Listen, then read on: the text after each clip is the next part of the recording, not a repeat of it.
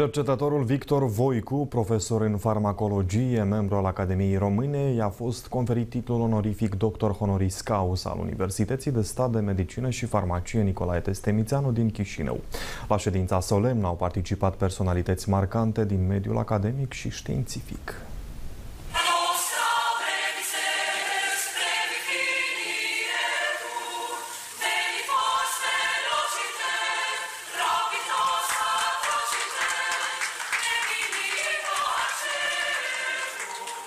Academicianul Victor Voicu a primit cu emoție titlul onorific de doctor honoris causa. Un profesionist nu se odihnește. Un profesionist nu știe până să sfârșesc zilele, până viața lui se încheie și se încheie în glorie. Pentru că el trebuie să rămână pe vârf. Efortul de a rămâne pe vârf e mai mare decât efortul de a-l urca.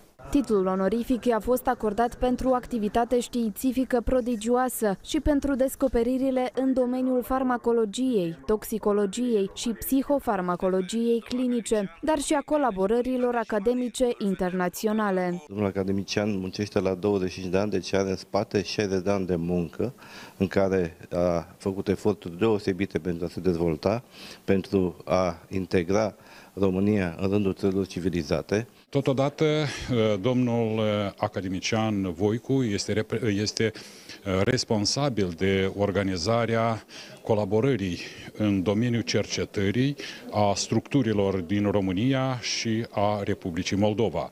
Astăzi avem mai multe proiecte anunțate de Guvernul României. Pentru Universitatea de Medicină aceasta are o deosebită importanță, deci noi pregătim în farmacologie, pregătim în farmacologie clinică, pregătim în toxicologie, în rezidenți, medici specialiști, unde dumnealui este unul din fondatorii acest, acestei științe medicale. M-a ajutat foarte mult pe mine, pe colegii mei, ca să fondăm Academia de Științe Medicale Gheorghe Țăbărnă din Republica Moldova și am venit cu toții șezând mai mulți academicieni acestei academii ca să-l felicităm pe domnul Voicu. Academicianul Victor Voicu este autorul a peste 20 de volume monografice, 300 de lucrări științifice publicate și comunicate și deține aproape 30 de brevete de invenție. În 2005 a primit titlurile de doctor honoris causa al Universității Ovidius din Constanța și al Universității Vasile Goldiș din Arad.